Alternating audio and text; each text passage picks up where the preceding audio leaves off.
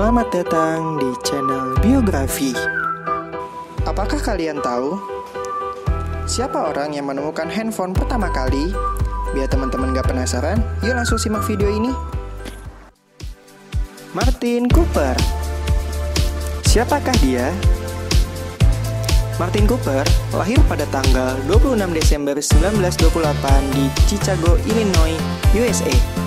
Ia lulus dari Illinois Institute of Technology pada tahun 1950.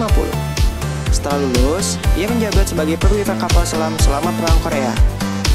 Ia pernah bekerja sebagai direktur penelitian dan pengembangan perusahaan Motorola yang mengembangkan perangkat genggam ponsel.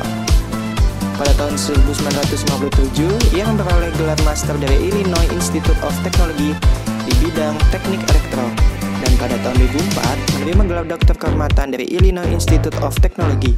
Dia melayani di Dewan Pengawas Universitas. Apa jasanya? Martin Cooper merupakan penemu handphone. Hal itu terjadi pada tanggal 3 April 1973. Saat itu, ia ingin membuat sebuah alat komunikasi yang kecil dan mudah dibawa berpergian secara fleksibel. Telepon genggam pertama berhasil dibuatnya dengan berat 2 kg. Untuk memproduksinya, Motorola membutuhkan biaya setara dengan 1 juta dolar. Pada tahun 1983, harga handphone adalah 4.000 dolar atau dikuruskan menjadi rupiah 36 juta. Apa manfaatnya? Telepon seluler atau ponsel atau telepon genggam atau handphone adalah perangkat telekomunikasi elektronik yang mempunyai kemampuan dapat dibawa ke mana-mana, portable atau mobile, dan tidak perlu disambungkan dengan jaringan telepon yang menggunakan kabel.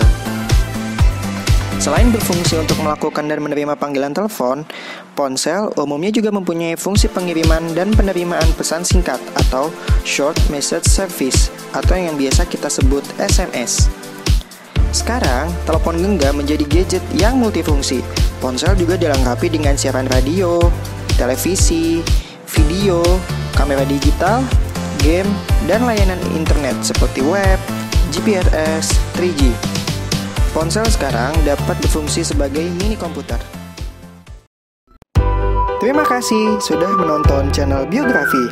Jangan lupa like, komen, dan subscribe.